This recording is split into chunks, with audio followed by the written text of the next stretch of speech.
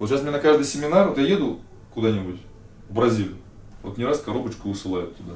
Я приезжаю, у меня там протеинчик, БЦАшечки, креатинчик, понимаете? Это российская система. Я приезжаю в Аргентину, у меня на, в Аргентине, в моем зале, где я буду работать, они знают, все, мы общаемся, я контактик дал, они связались с, с, с Огнерами, с этими, с хозяевами, да, с основателем, ну, хозяин, все, выслали им коробочку. Вот так работает. Новая маечка, новые шортики, понимаешь? Щук, Штанга приехала, питание приехало, одежда приехала. Все, что тебе надо? Вот это американская система. Почему она не должна у нас прижиться? Почему не должна? Почему нет? Что в этом тяжелого? Я со Скоромным когда общался, он говорит, и вот типа у нас такие спонсорские контракты с питанием слабенькие. Конечно, если вы цепляетесь, если у нас всю жизнь спортсмены а, брались за все, им дали 100 долларов, как на выборах, вот им кинули 200 баксов каждому и бутерброд с водкой, и они проголосовали блин, за другого президента. Понимаешь? И продали все. Потому что всегда были нищие.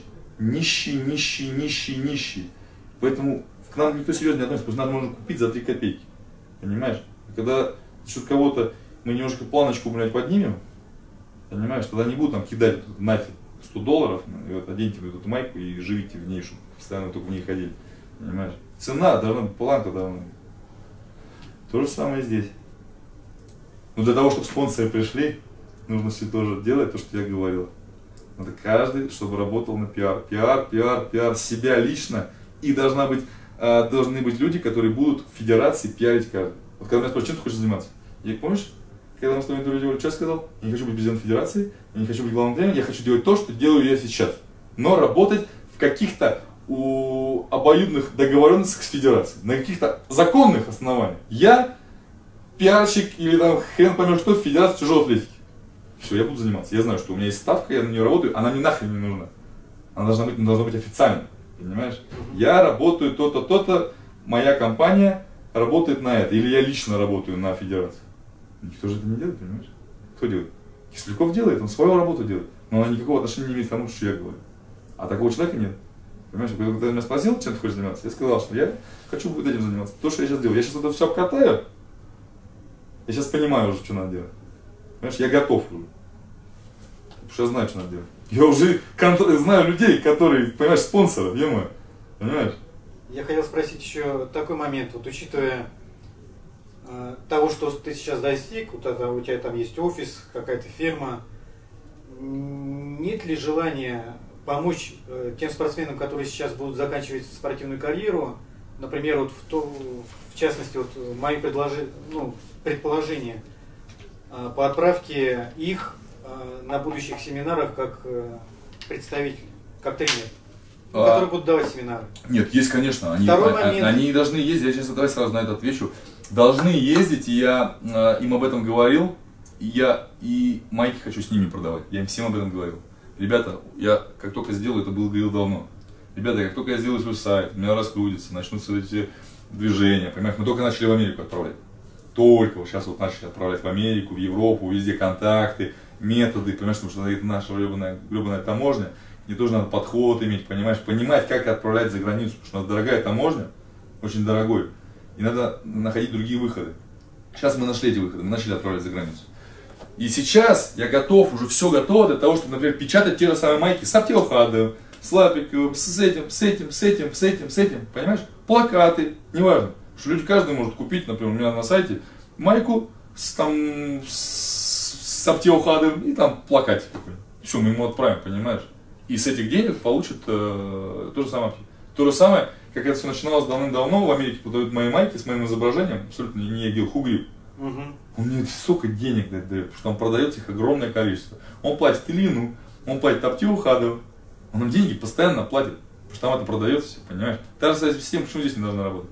Но все должно быть вовремя, в свое время. Потому что я тогда, когда я им говорил, я им говорил идею. Сейчас все готово. У меня должно быть время для того, чтобы приехать к ним, опять сюда поговорить обсудить, сколько им должен, да, выбрать фотографии, выбрать дизайн, утвердить дизайн, понимаешь? Столько всего, ну, блин, ну куда, понимаешь? Все, и, конечно же, то же самое по семинару.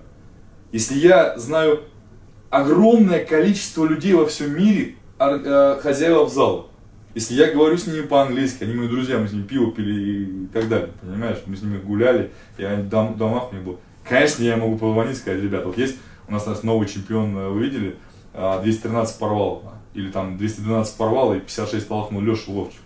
Он не говорит по-английски, но как бы интерес есть, да? Как бы, да? Все. Ему надо переводчика, ему надо билет, проживание, питание и такую сумму. Пожалуйста. Вот тебе билет, Леша, вот тебе э, то же самое, лети. Вот может быть как раз так и начнется у тебя Всему свое консультации, и потом уже... Всему свое время. Понимаешь? Еще второй момент вот по поводу залов. Если ты раз ты, видимо, и так уже достаточно обеспечен, может быть, тебе задуматься вот о залах, чтобы а, а, Я не настолько, Начать обеспе- их- я не настолько обеспечен, чтобы Нет, нет, в в- ближайшем в, России. Не-не-не, у меня сейчас другая, другая задача и другие вообще по залам, но в другом виде. и также привлекать этих же э, спортсменов, которые заканчивают карьеру. То есть ты закончил, все. тренерами, что? Да. Да хорош ты, какие тренера. Ну, а как раз не, не, не, не. Тренером надо родиться, понимаешь? Геннадий Викторович никогда не сможет заниматься тем, чем занимаюсь я, потому что он, он тренер. Но мы немножко разные тренера, да, то есть... э, вот Они он- все же нет. Многие же хотят тренировать. Кто из нашей команды сейчас хочет пойти работать обычным тренером? Кто? Тогда брать обычных тренеров, раскручивать их. Кого? Обычных тренеров? Любую теорию надо доказывать практикой. Если тренер без имени, ну это надо вложиться, чтобы тебя раскрутить. Как тебе? Есть механизмы, за счет которых раскручивают в шоу-бизнесе. Ну ты же не певичка с сиськами, понимаешь? Ты же тренер с опытом. У тебя должен быть резюме. Кого ты подготовил? Кто у тебя спортсмен? Ну кто? Кто ты? Заслуженный тренер? Окей, понятно. Таких нет? Они не поймут, что такое заслуженный тренер. У них нет такого понятия, как Ну да, заслуженный мастер спорта России. Да. У них нет этого. Также они не поймут, что такое заслуженный тренер России. Кто? Евгений Чигишев и Константинов Роман. Тренер Тищенко. По-английски не говорит. Очень интеллигентный. Такой вот резюме. Неплохо. Чигишева знают ого-го. Константинова не знает никто. Ну хотя бы что-то. Можно отправлять. Другой пример. Махты, конечно, его возьмут. Сафонова, конечно, его возьмут. Каракотова, конечно, его возьмут. Может быть, даже главным тренером сборной Америки. Конечно. Ну а других-то? Они и так все при делах, понимаешь? И за границей, за границей, если ты будешь обычным тренером за границей, обычным тренером, то тебе там то столько денег платить не будут. В России охренительный заклад. Охренительный. Они когда знают, сколько мы получаем, как спортсмены, охреневают. Они охреневают просто, что у них это все на любительском. Вот именно в штанге. А те, которые в кроссфите идут, вот эта вот огромная туча надвигается, вот они уже все с личными спонсорами, с личными контрактами. Мгм. А вот эти голодранцы, которые именно в штанге, отголосками добрасываются, вот, что это штангисты, вот это туда, куда сейчас наши люди идут. Такой, ну, надо с ними тоже пообщаться, что-нибудь им тоже кинуть. Но вот те идут масса, та знает, как общаться уже со спонсорами. Вот и им интересно. Потому что в поисковике тяжелая атлетика набирают реже, чем кроссфит. И твоя харя выскочит. И почему я хэштеги ставлю везде? Кроссфит, кроссфит, CrossFit Games. Это, технологии. Мне многие в, ВКонтакте пишут, типа, мог бы и уже и не это, не ставить эти хэштеги новомодные.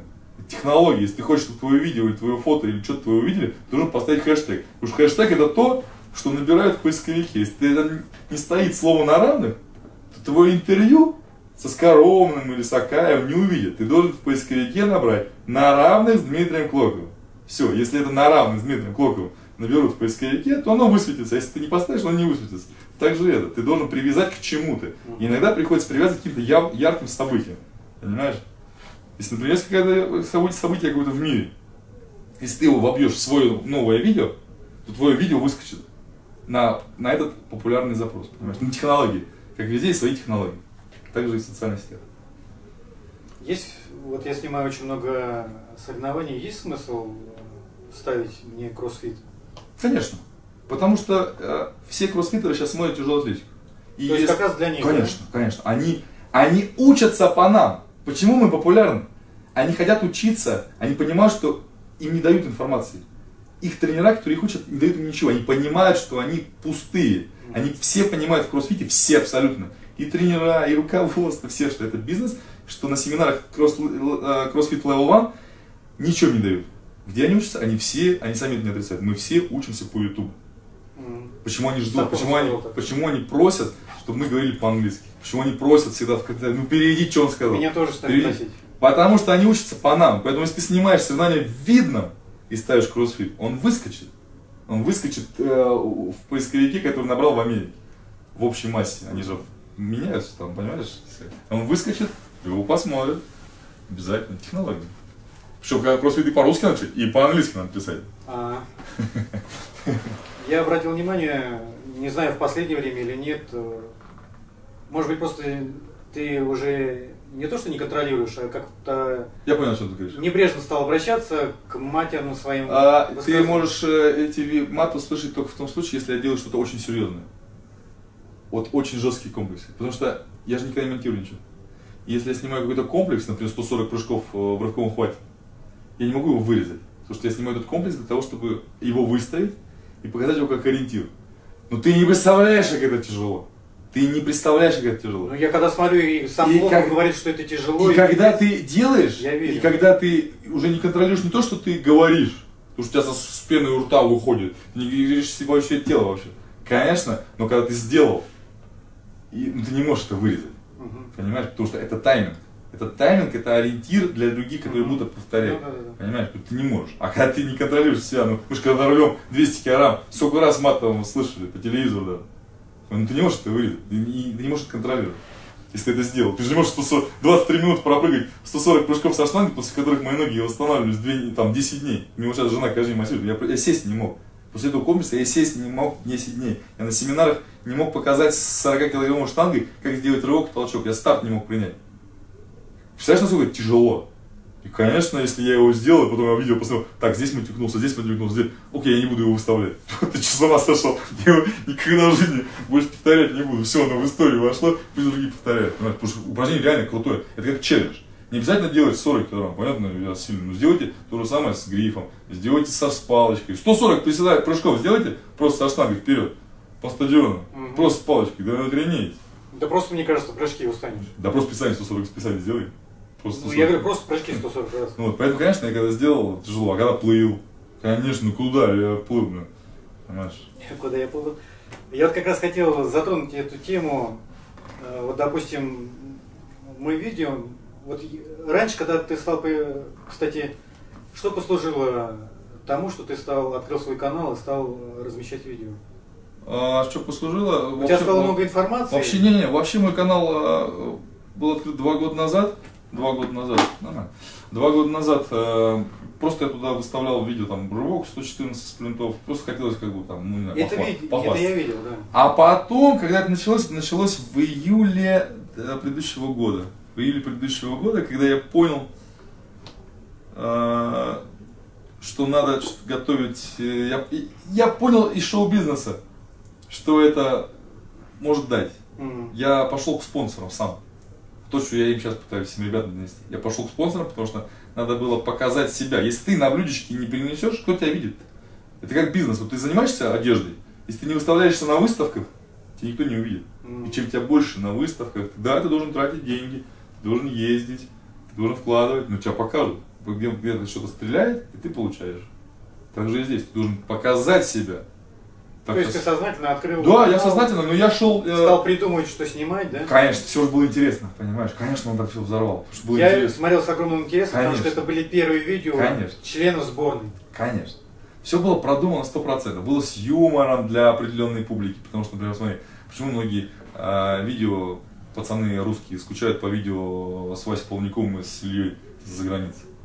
Ну, понятно. Молодые пацаны смотрят на своих там, кумиров, условно, в такой неформальной обстановке, хихи, ха-ха, абсолютно разные люди. Вася такой юморист, понимаешь, Илья более серьезный. Ну, Я понимаю, в чем прикол, и в этом была изюминка, понимаешь. Многие те же самые шутки, которые сейчас люди относят к Васе, да, это было сказано, я говорю, Вася, скажи то-то, скажи то-то, потому что я его продвигал, я хотел, ну, все, все, что надо, все мы сделали, понимаешь. Все сделали, потому что ну, Вася нормальный парень, и я делился с ним опытом и как бы советовал ему, что сделать, понимаешь. Вот. Потому что ну, я из этой области, понимаешь, я пиар, я знаю, что надо сказать. Вот так вот, никто это, где это взялось? Вот мы вот раз, раз, раз, раз, раз, там другие приколы, Вася там, вот, М. и вот, вот так вот, это все же было просто, не просто так, понимаешь. Все было придумано, в самолете летели, подлетали к, к- к Лос-Ан- к Лос-Анджелесу, где живет этот э, Александр Невский и Вася. Говорю, Вася, как бы подлетаем туда-сюда. Ну вот так вот подлетаем к Лос- к Лос-Анджелесу, где живет Александр Невский, там, понимаешь. И в контексте, когда ты набираешь еще хэштег там Александр Невский там и так далее. Мгм. Все, ну как бы все в комплексе, в комплексе, в комплексе, оно все хитрости такие. Я вот с интересом смотрел э, в самом начале, когда ты вот про штангистов показывал видео свои, но потом ты стал немножко в сторону кроссфита. Вот эти комплексы все. А потому что когда я начал э, делать видео для Ютуба, М, для Ютуба о штанге, я тебе Чуть-чуть закончу. Давай.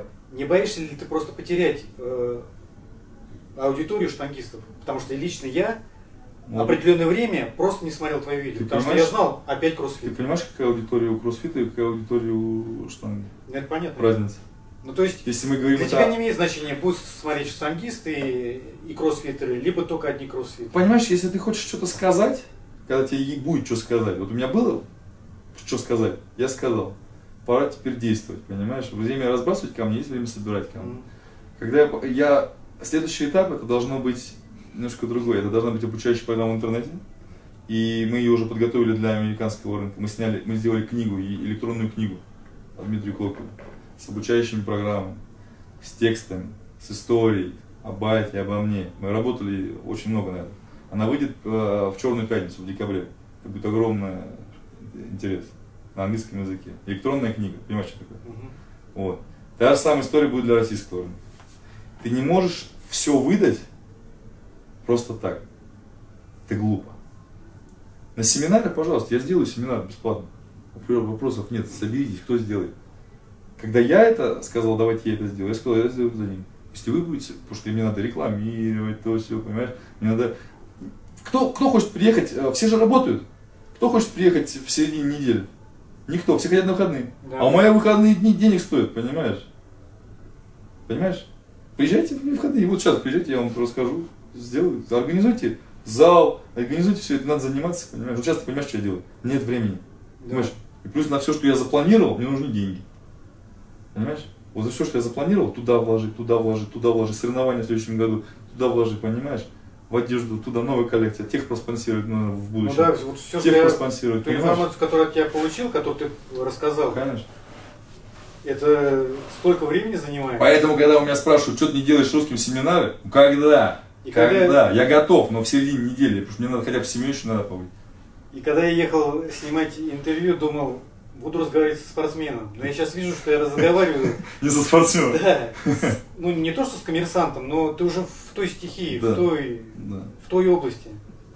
сто процентов. совсем другим. Поэтому я и говорю, что как бы есть вот этот эго в тебе сидит, чтобы вернуться в штангу и продолжить, и, там, не знаю.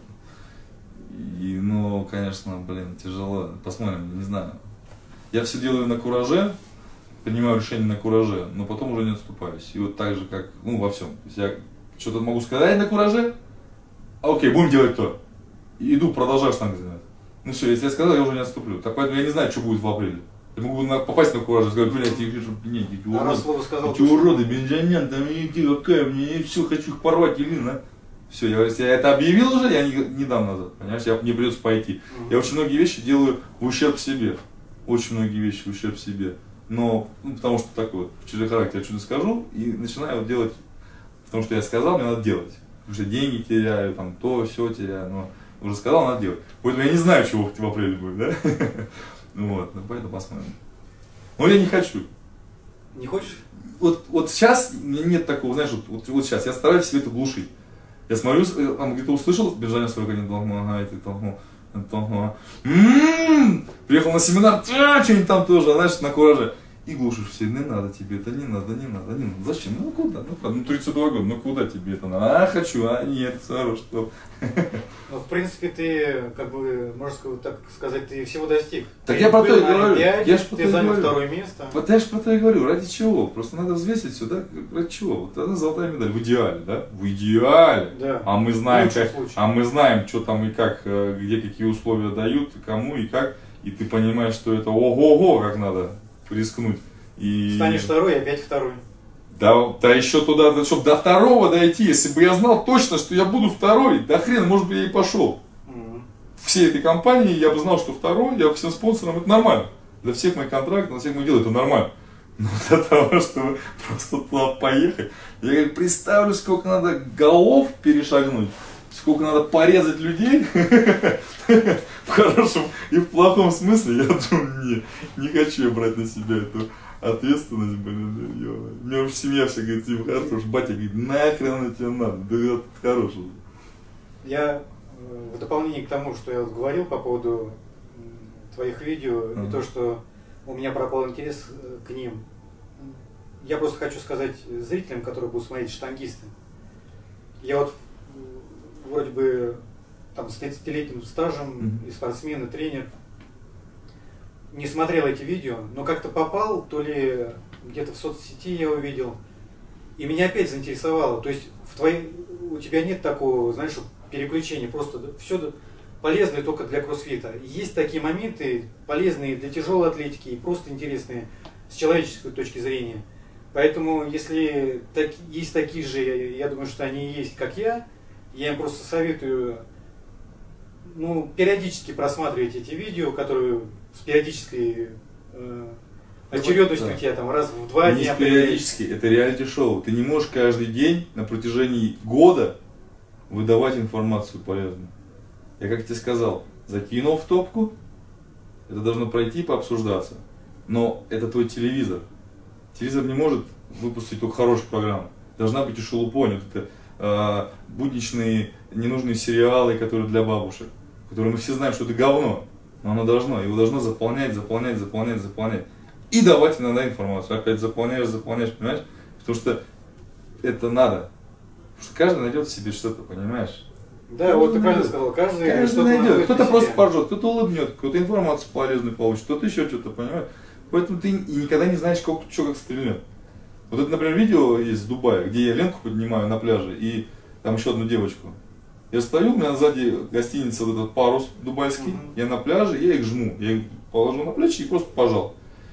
Вот это видео, блин, вы даже не представляете, оно вот в Америке на центральном телевидении показывалось, в Мексике, у меня есть все ссылки на эти каналы, в новостях, в новостях и в ра- в развлекательных программах. Как- что- Мне люди писали, спрашивали разрешение. Можно в вы... каком качестве это преподнеслось? Что? Как что? Ну, Вот, вот- вот так ходить. можно, вот так можно э, снимать девочек на пляже. А, Всякие, если это в, в развлекательном, то это в развлекательном. С шутками, прибаутками, но это ты, понимаешь, это без разницы, это ты. Все, это. И причем это сделано вот так, знаешь, никогда не знаешь, что стрельнет. Вот иногда думаешь, бля, это бомба. Она ни хрена не идет. А иногда бывает снимешь какую-нибудь ерунду, и она взрывает, понимаешь? У меня 650 видео, я знаю, о чем я говорю, понимаешь? Иногда снимаешь просто так ерунду. Она откуда столько просмотров? Ерунда полная. мгм. А другой смотришь, думаешь, объединяешь ее, смонтировал, ну все, садишься, загрузил, и сел и сидишь. Думаешь, ну сейчас понесется. Мгм. Хер. Поэтому надо все подряд лить. Все подряд лить, понимаешь? А там разберется. Что пойдет, что не пойдет. Все, все подряд. Ну, зрителям я сказал рекомендацию, тебе рекомендую что-нибудь, э, не забывать про тяжелоатлетов, что-нибудь полезное там. Так где мне рекомендации. тяжелоатлет? Мне надо, чтобы по тяжелоатлетам не забывать, мне надо их снимать, понимаешь? А если я постоянно живу только с кроссфитером, ну кого мне снимать? Ну снимаю себя как штангиста и снимаю Да. их как кроссфитера. Себя как штангист и, может быть, что-то полезное для штангистов. Потихонечку. Все по мере необходимости. Сейчас время уже давать Про информацию. между делом что-то сказать. Про Или просто ролик какой-то. Я понимаю, что ты говоришь. Я говорю, я понимаю полностью, как вся система работает, что людям надо. Все в свое время появится в полной, в полной доступности. Понимаешь? По поводу передачи на равных, э, ты ее создавал для чего? Для... Берешь интервью у тяжелоатлетов? Для чего создавал? да? О, В последнее время ты вот со Скоромным снял, потом... Последний со Скоромным. Последний. Ну, на работу полноценно со Да, ну то есть стали появляться не тяжелоатлеты. Ты Понимаешь? эта передача просто на равных Это с любыми людьми. с любыми людьми. Да, потому что ты у каждого, эта программа, понимаешь, где я ее взял вообще, эту идею? Я взял ее у Владимира у Ти- у Тинькова. Тиньков это бизнесмен, кредитные системы Тиньков, а, бизнесмен Тиньков. У него есть программа а, секреты, а, бизнес-секреты с Олегом Тиньковым. Так как я бизнесом всегда интересовался, мне всегда интересно было бизнес, я очень когда еще мелкий, блин, был я постоянно бизнес, бизнес, бизнес, бизнес, я там постоянно этим бизнесом занимался. И бутылки собирал, я там кассеты записывал друзьям за деньги. У меня просто много коллекций плеера. Монтировал кассеты, Мгм. музыку там отправлял, и видео и монтировал. Ну, находил возможность заработать. Да, я постоянно, мелкий когда был вообще. И я и как бы очень много по бизнесу смотрел передач. И наткнулся на эту программу «Бизнес-секрет» с Олегом Тиньковым. Мне так понравилось. В чем изюминка? Потому что обычно мы кто, с кем разговариваем в интервью? Дилетант, журналист, который буквально один день-два к тебе подготовился, в интернете что-то прошуршал, сказали... абсолютно не понимает, о чем он разговаривает, чисто по бумажке. И профессионал. Ты понимаешь, да? можно говорить? Одни и те же программы. Когда садятся напротив два профессионала, два профессионала в своем деле, которые понимают, о чем они говорят, они понимают все и вдоль, и поперек, всю, э, все кишки. И если получится диалог, а пусть он иногда не получает, что он там жесткий, не жесткий, формат это другое, как оно там все это строится там. Но именно сам формат, два профессионала. Они общались, например, там, Тиньков, там, Чичваркин, основатель сети Тиньков, Довгань, Мгм. там, Тиньков, Батурина, там, там очень много, понимаешь, когда они говорят о бизнесе, о политике, о коррупции, обо всем, они говорят о, о насущном, они говорят о проблемах реальные, вот они это чувствуют, то же самое и на равных. Ты общаешься, и ты, в том и прикол, что ты не должен вырезать. Потому что ты говоришь, все, что ты скажешь, все пойдет, я сразу им говорю, понимаешь? С кем мы можем в ближайшее время увидеть? Да блин, хватило бы, знаешь, все занятые люди, например, с Кокляевым. У меня готово, у меня лежит дома тетрадка с готовой с Кокляевым. Но Кокляева, он постоянно в разъездах, я постоянно в разъездах, понимаешь, готовая. В любой момент, это время от времени, ну когда, Миш, будешь? Ага, блин, я не буду, ладно опять. Миш, когда там за границей напишу, я там прилетаю на два дня, ты будешь где-то там? Понимаешь, все занятые люди. Мы со, со, Слиенко пытались встретиться месяца три, блин. Понимаешь, поэтому кем получится? Ну, у тебя в планах, допустим, Кокляев. Да в планах все. А, ну, да я бы у любого взял. Я бы с утра до вечера сидел бы только разговаривал, понимаешь? блин? Ну откуда время? Ну надо просто двигать. Иногда вот делаешь то, что даже ну, тяжело. Понимаешь, ну вот надо просто. Иногда надо. И да в основном надо. В основном надо. Вот, поэтому просто надо делать. Ух ты! Я ж- Да, и моя. У меня, я посуду мою. э, Ты видел? Да, да, да. Я, я, я ж блин. Посуду бывает, ну, кладешь там вилку или ножик там, падает, да, раз, чик, Ну, вы мышцы-то скоростные. я штангист. Не, ну, сам, да, да, от да, да, понимаю, да. А, По поводу видео, где ты демонстрируешь всякие комплексы, возможности, там, по песку со штангой, Мгм. там, бассейн вот тот же. Для недавно. чего? Э, Я хотел спросить, э, задать такой вопрос.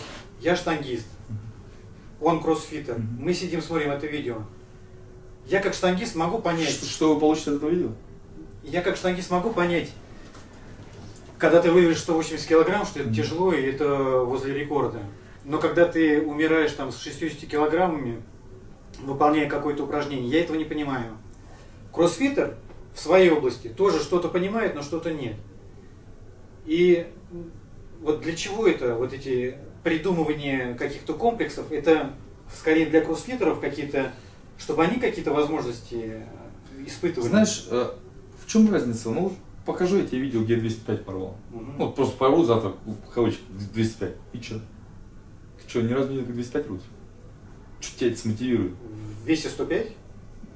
Ты ви- видел, как Хаджимурат 210 рвет. На ютубе есть, где я рву 206. Порву я за 200. Мгм. Выложу. Что толку? Ну даст вам это... Не, я- Не, не, не, подожди. Даст вам это повод для разговоров, что Клоков в форме, давайте на Олимпиаду. Мгм. И что? Что от этого видел? Понимаешь? Никакой. Ну это какой-то, какая-то почва Ну там, какая? Для разговоров, для оценки какой-то твоих э, силовых возможностей там, в данный момент. А здесь... А здесь а тут ч- не можешь понять, то ли ты просто Клоков за счет там, каких-то физических возможностей, за счет еще чего-то просто поднял.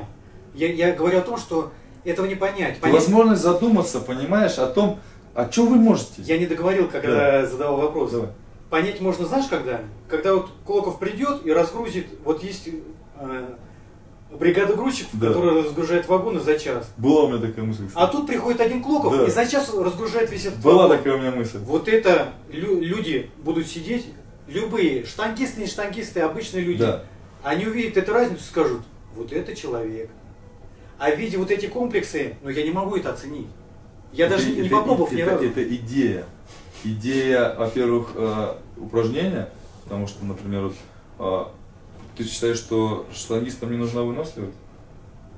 Почему штангистам не нужна выносливость? Вот, например, если вы пройдете со штангой э, по лестнице, со штангой по лестнице, что вы укрепляете? Укрепляете связки. Если говорят, что э, очень большая нагрузка на позвоночник, полная чушь. В этом упражнении, когда я со штангой 100 килограмм шел по лестнице, А что были такие? спина вообще не напрягалась. Не, были, что говорили... Да всякое говорю. Что вы тренируете, когда вы идете по ступенькам? Вы тренируете вот эти вот. Вы тренируете эти мышцы, вы тренируете вот эту связку. И в каждом можно что-то найти. По песку, что вы укрепляете. Еще что-то. Но для меня это челлендж. Испытание. Я люблю себя испытывать. Мгм. Прыжки с трамплина. То есть находишь какую-то грань, которая... Я это делаю, это реалити-шоу. Это я не пытаюсь что-то кому-то показать. Но вы можете в этом если подумать, ага, блин, ну это на самом деле по ступенькам. А что мы по ступенькам не делаем? Надо попробовать. Что в этом может быть? Ага, ну что мы можем? По сути, это то же самое зашагивание на тумбочку со штангой. То, что делает и Никана дает своим. То, что все делают. Просто немножко в другом виде, понимаешь? Ну, дает тебе возможность задуматься о чем-то. Но с какой целью это было на Ютубе? Это мой челлендж, это мой канал, это реалити-шоу о моей жизни, просто что я делаю. А так как, поскольку, поскольку я для, сам люблю себя испытывать, прыжок с- в Дубае с парашютом, челлендж по пескам, прыжки с вышки, в прямом эфире танцы со звездами. Извини меня, когда это в прямом эфире, и ты абсолютно не профессионал, ты тренировался всю неделю, и ты вообще просто пипец, понимаешь? И то, и то, и то, и то. Это челлендж, это просто моя жизнь, понимаешь? Я люблю, вот то же самое вино, понимаешь? челлендж. Чего ты сможешь добиться максимум, понимаешь? Испытание. Куражнуть себя. Да надо постоянно от что-то кайфовать. Если ты от работы, от того, что ты делаешь, или вообще себя ничем не, не подбадриваешь, не, как бы не стимулируешь, ну это неинтересно. Сделать. То есть ты не пытаешься кому-то что-то навязать, ты просто испытываешь себя какими-то... А необычными- что, я, ну, например, ну сделай я этот песочный челлендж а, в этом. Знаешь, сколько людей как повторяли? Да? Да обычно по песках, по карьерам люди ходят. А Мне же пролезть- видео присылают. Про лестницу ты делал вызов, тебе... Я вот видел одно видео. Ты видел его? Про лестницу, а что там сделать? Тоже, тоже так же человек э, взял штангу, Ага. сказал, я э, отвечаю на Да, и видео. Ну что, я буду отвечать? что ли? Не, я просто спрашиваю, ты видел? Не, я не видел. То есть ты так не отслеживаешь? Я именно лестницу не помню, потому что она давно была, а вот, например, ходьба по пескам в карьерах вот делали люди очень много, понимаешь, то есть... А что они говорили? Я сделал, и я такой же, как ты? А вот как? это такой же прикол, такой же... Или по- я просто Подожди, сделал. это посыл такой же, как сейчас вот э, с, с Ice Cube вот этот вот. То есть вот это э, обливание холодной водой со льдом. Почему это? Вам это даст пользу только в том случае, если вы будете делать это систематически. Вы будете загорять свое время. Один раз что-то давно даст? Понимаешь? Та же самая история. Но может быть это даст тебе о чем задуматься. Может быть это просто тебя улыбнет, поржать. Но с каждый- выливанием это как такая игра небольшая. Я смог, смог. Какая смог разница? Здесь то же самое, понимаешь? Здесь то же самое. То же самое. Человек, вот, понимаешь, испытание себя. Вот еще один испытывает себя, а ты что не испытываешь? Ну иди испытайся, на что ты способен, а ты способен то же самое повторить. Еще мне понравилось Здесь видео. тяжело сказать для чего. Но больше это для того, что просто это, как бы, я люблю себя испытывать. Ну я понял, ты. И э, как бы это просто, ну а что не показать, ну может быть кто-то для себя что-то, видишь, находят же люди, которые повторяют, хотят, ничего в этом плохого нет, я же не заставляю отжиматься от унитаза с 6 по 6 погружения, понимаешь? Мгм. Нормальные испытания, кардио нагрузки, там, тренировка, такая же тренировка.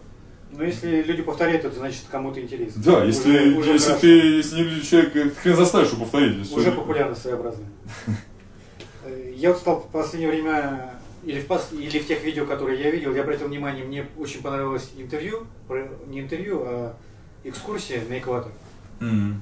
И я даже вот когда на работе смотрел, Ага. ну, я работаю э, на основной работе, э, работа не относится к тяжелой атлетике, Так. к спорту никакого, я людям показывал. Им тоже было интересно. Я, я не знал э, о, о действии вот этой линии экваторной, что происходит справа от нее и что слева. Много комментариев всяких, очень много комментариев всяких, но я не знаю. Может быть, продолжить какие-то такие интересные... Не всегда получается.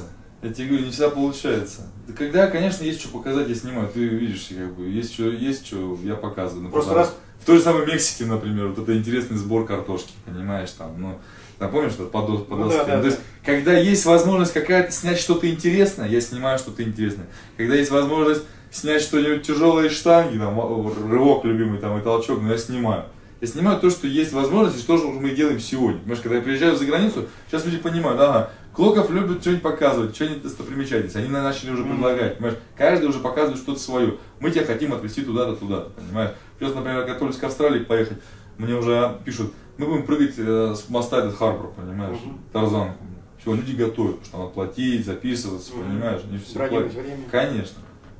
Ну, окей, понимаешь, люди уже ерунду прочувствовали, понимаешь, они поняли, что как бы, сами любят смотреть это, и также свои предлагают свои достопримечательности Мгм. какие-то, понимаешь, с моста Харбор, понимаешь, это, где Олимпийские кольца были на Олимпиаде Сиднея, и туда-оттуда с Тарзанки прыгнули. Я никогда с Тарзанки не прыгнул. Ну, посмотрим. Иногда они, знаешь, тоже предлагают, я думаю, да я устал от этих челленджей, я устал постоянно себя испытывать, иногда хочется, знаешь, просто спокойно потренироваться, а иногда приезжаешь куда-нибудь, там, тебе, вот сейчас даже в зал приехал по кроссфиту тренироваться, давай, давай с нами, давай комплекс с нами сделаем, я говорю, пацаны, я так устал, дайте мне просто подтягиваться, дайте мне просто там поделать тягу, рывочек, толчочек аккуратненько, просто, понимаешь? А вот последнее видео, где, по-моему, тебя жена снимает в кроссфит Да, из-за головы, Да, да. да. Ну я просто жал, как плечики качал. Ты опять завелся там, да? Да, завелся. Я вообще пришел, вообще ничего не делал. У меня жена тоже с кроссфитом занимается. Тоже кроссфит делает, все комплексы, у нее тренер свой по кроссфиту. Вот, и это, в кроссфит-базе. И э, я не мог тренироваться. Не мог. Хожу, что-то со всеми ля-ля, тополя, давно не видел пацанов всех. Блин. И тут что-то раз на рост, рост, аппетит пришел, знаешь, и разошелся. Ну, возвращ- возвращаясь к тому видео, э, когда ты вот сел в сет, думаю, неужели сейчас увижу, что Дима сейчас немножко так под- подкинет слегка? Это, это самое важное. И дожмет. Да, да, да, да. Самое важное, не Думаю, вставать, жопу не поднимать. Неужели он меня разочарует? Смотрю, идеально, Да, да. просто идеально. Максимальное такое напряжение, из мертвого положения старт такой. Вот чисто это, вот, вот это очень смешно, когда я, я всякие интересные упражнения показываю, да, и действительно интересные упражнения и полезные. И в Ютубе, там, и в Инстаграме, и потом я начинаю отслеживать, как люди это начинают повторять, повторять, повторять, А, повторяют? повторять, конечно. Я же вижу, мне же, когда люди какие-то повторяют что-то, они, например, в Инстаграме, они сделают э, на меня хэштег, то есть, что они делают это, чтобы я это посмотрел. Есть, Мгм. когда они что-то выставляют, я вижу, они специально меня отмечают, чтобы дать мне сообщение Это где? в Инстаграме. А, в Инстаграме. А что посмотри, типа, мои видео, вот я сделал, повторил. Я вижу, что люди неправильно делают. Например, то же самое соцпресс, это то, что ты говоришь, это соцпресс называется. Они делают как? Раз вверх и вниз упали. Мгм. Раз и упали. Понимаешь, мне иногда говорят, мы там делаем столько. Я говорю, что охренели, у меня, говорю, соцпресс 120 Мгм. слушай, а вы делаете 90. Я говорю, ну покажи, Мгм. такой додик. Я говорю, ну покажи, как делаешь. 90. Как? Привстали, оп, вниз. Конечно, говорю, а ты жопу попробуй не оторви, а вот, 50 еле-еле. Конечно. вот. Такой глубокий сет, это у тебя... Ты развивал Нет, его? или это у меня такой. Да, да, да? У меня есть соревнования, фотографии в газете. Мои третьи соревнования. Я прям в седе сижу в газете, в Моск... Балашихинской газете, в седе там сижу, и меня прям жопа помоста касается. Ну, я был такой. Я же занимался футболом, и ну, футболом так не серьезно, дзюдо. Меня в дзюдо сильно растянули. Я дзюдо год занимался, даже полтора, до штанги. Меня там хорошо тянули. Э, Учитывая, вот сейчас вот развивается фитнес-индустрия, у них постоянно присутствуют какие-то семинары, обучающие. И Я вот э, виду предложил тоже устраивать какие-то, э, ну, типа день дня открытых дверей, чтобы люди могли приезжать обучаться чему-то. На сборы. Не надо Одним- делать. Не надо? На сборы не надо никого пускать. Зачем? Не, не, не, сами, не на сами на сборы, просто приезжать туда и... э, Не, на базу точно никого пускать не надо. Либо три. Почему? А зачем? Это наша закрытая территория, не надо никого туда пускать, не надо день открытых дверей делать. Зачем? Ты что?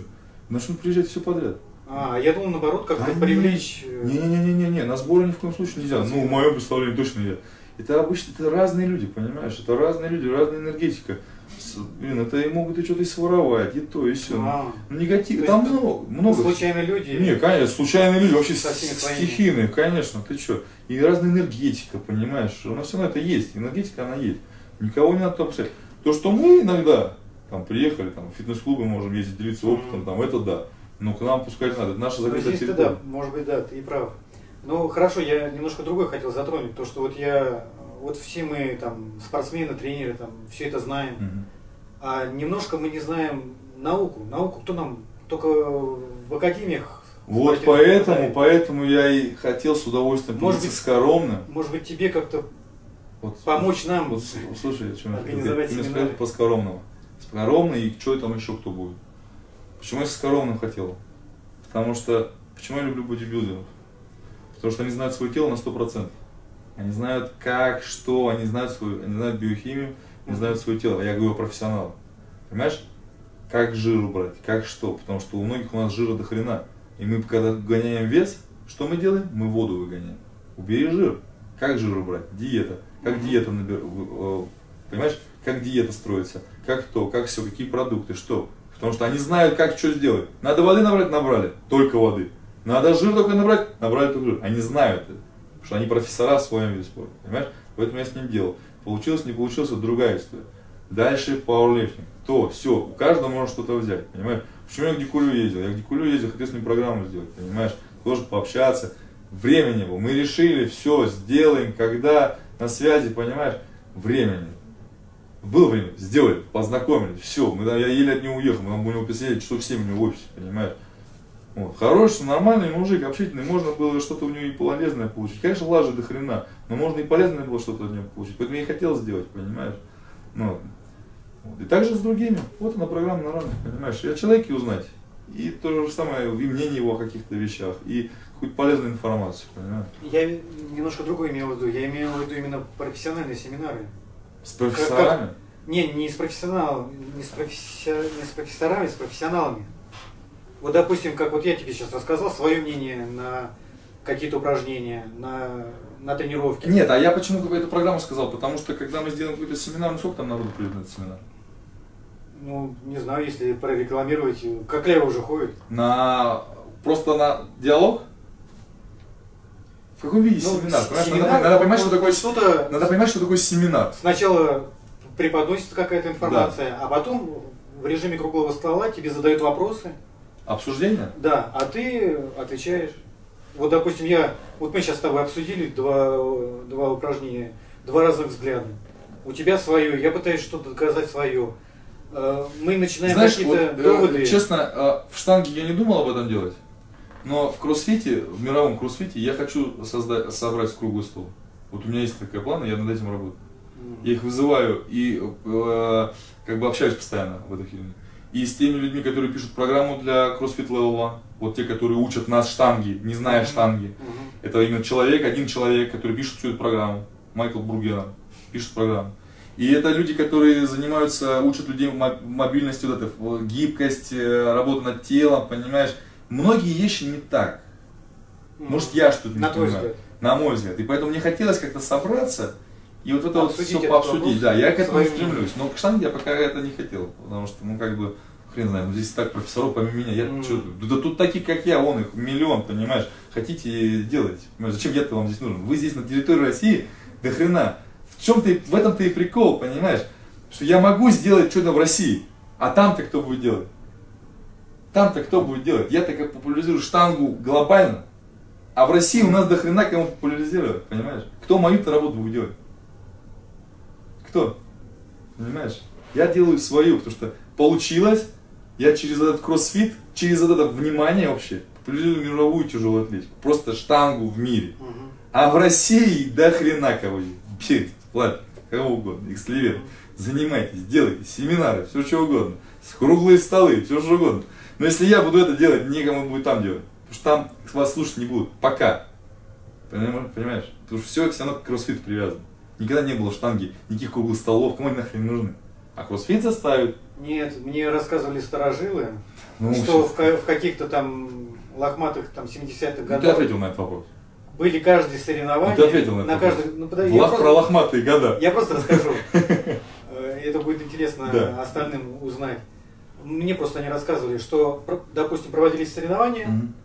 и на базе этих соревнований в определенное время или и день собирались все тренеры, Так, спортсмены желающие. Мне сказали, что собиралось до 200 человек. клево. И проводились вот такие семинары. Что там э, Я за, обсуждалось, я за любой рассказывалось, я не знаю. ребят, я за любой кипиш. Ну просто не всегда время есть, понимаешь?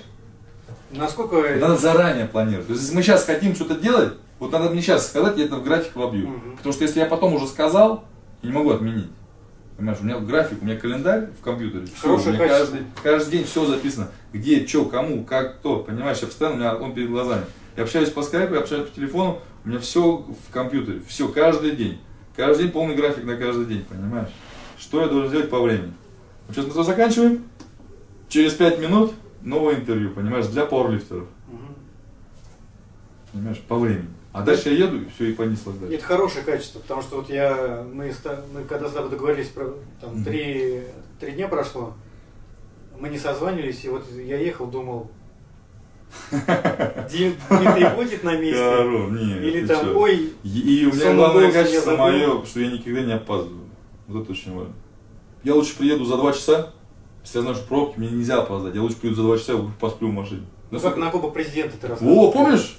Я приехал. Я, ну, я не мог опоздать. Я, ну, я заехал заранее, потому что мне надо подготовить. Меня определенная работа должна произвестись до того момента, когда до час икс, понимаешь? Вот так всегда. Я приезжаю и сплю в машине. Жалко, немножко не хватает времени, я тоже спешу, не задал массу вопросов. А, Ну, Продолжение, вторая часть. Я... Да, да, хорошо. С удовольствием встречусь. Тем более время идет, новые какие-то вопросы возникают. Я буду их записывать. Про в завершение вот по поводу семинаров. Мгм. Сейчас, если зайти на Винер, там Клоков, Игорь Зарипов. Когда в первый раз... Вин- Вина- э, teamvina.com? Teamvina.com, наш основной сайт. Не знаю, я забил, ну, русскоязычный или какой. Я понимаю, да, так, Основной. да. Э, Когда в первый раз появилась информация про Игоря Зарипова, мы вот на соревнованиях встречались, там Мгм. тренеры, там просто любители. Э, Ну, стали вот обсуждать эту тему, кто такой Зарипов. И все вот, знаешь, не знаем, не знаем. Мгм. Судя по тем, той информации, которая предоставлялась тогда на том этапе там, в качестве рекламы, ну, можно было что-то понять, но вот на, либо на будущее, или, вот сейчас, если можно... Кто такой Зарипов? Да, по- более подробно. Это понятно, цирковой атлет, это вот уже из Ну, видео не, цир- понятно. не цирковой атлет, это главное лицо цирка Дюшалей в воздушной акробатике. Это человек, который а, снимал, был как, как продюсер, как полностью делал фильм «Цирк Дюшалей» для Голливуда. Это человек, который с этим, с, э, как его, который «Титаник» снял, как его зовут? Не помню. Ну, вот этот режиссер известный, он снимался у них в фильме. То есть э, полностью человек делал фильм. Он жил э, два с половиной года, у него работало 40 человек команда, и платили огромные деньги, они делали все, понимаешь? И он был как бы и артист в главной роли, и сопродюсер, понимаешь, дальше, а, потому что он лицо цирка Дюшари. Мгм. Вот. И дальше мы с ним познакомились как? Он мне написал, опять-таки, как и все желающие в этом, а, на mail, попросил меня подготовить его по штанге.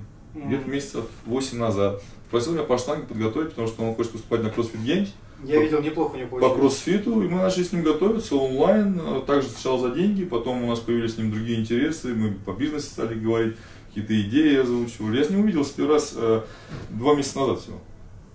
То есть сейчас он поднимает То есть течение С весом- а, нет, всего мы с ним 8 месяцев тренируемся. А. Но последние два месяца мы только с ним стали э, вместе тренироваться. До этого только онлайн.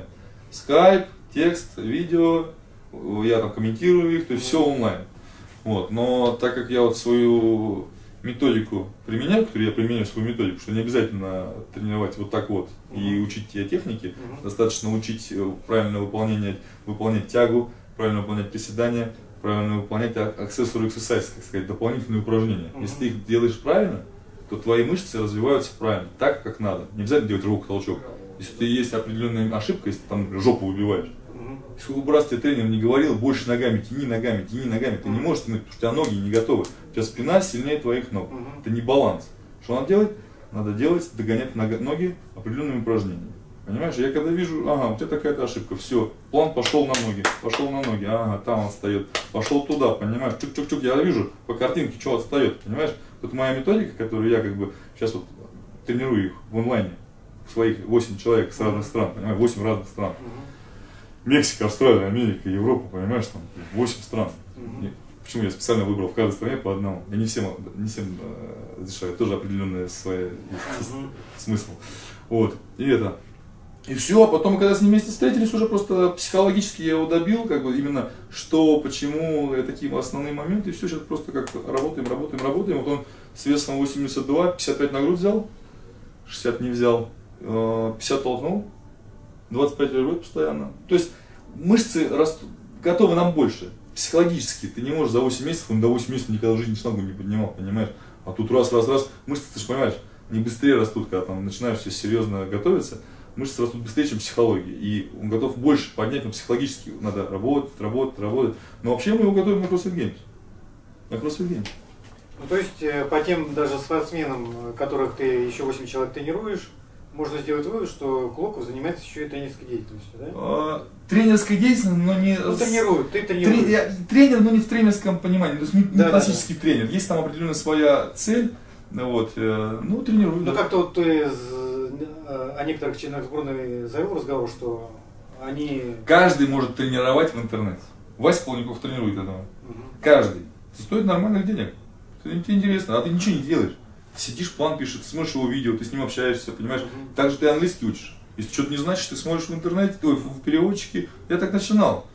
Я пообщался с иностранцами, каждое слово переводил, понимаешь, что копировал, переводил в транслейтер, транслейтер, бла, так постоянно у тебя эти глаза на глазах, да, да, да, понимаешь, да. ты начинаешь соображать. Сейчас я мне пишут текст, я сразу на английском отвечаю, я все читаю, я понимаю, я отвечаю, понимаешь? А ты говоришь, даже писать на английском, это, это тоже автоматически? Я сейчас пишу только на английском, понимаешь? Ну, то есть сначала ты вот в переводчике видел эти, да, я, слова? Да, конечно, ты запоминаешь, зрительная память, зрительная память. Ты чук-чук-чук, ты запоминаешь, и потом ты раз, раз, раз, раз, раз, раз, раз, и все. Там еще и бывает, тебя исправляют в айфонах, они же исправляют. Ты начинаешь писать, Понимаешь? Раз ошибку сделал, он тебя раз исправил. Ты запоминаешь, ага, он тебя исправил. Ты раз какую неправильно, ага, букву не поставил. Вместо А, О поставил. А ты запоминаешь, понимаешь? Айфон тебя запоминает, понимаешь? Запоминает, он тебя поправляет.